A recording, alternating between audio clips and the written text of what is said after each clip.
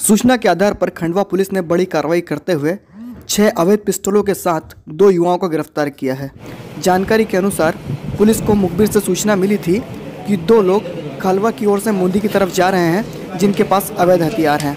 Police ने तुरंत कार्रवाई करते हुए इन दो लोगों को गिरफ़्तार किया है।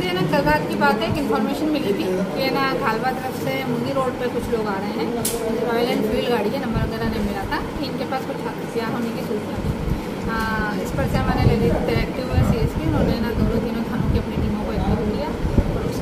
इन लोगों को पकड़ने में ना कामयाबी मिली खंडवा पुलिस को तो इन दोनों लड़कों को पकड़ा। उसमें एक का नाम था विजय जायसवाल और दूसरे का नाम था शाहरुख मंसूरी। दोनों बच्चे छब्बीस साल के लड़के हैं और रॉयल एनफील्ड गाड़ी पे थे। गाड़ी तो मैंने प्रेस भी लिखा हुआ था। जब बात बात चेंज हुई तो उनकी तलाशी वलाशी दोनों के पास एक एक पिस्टल मिली। और गाड़ी में एक बैग था जिसमें से चार पिस्टल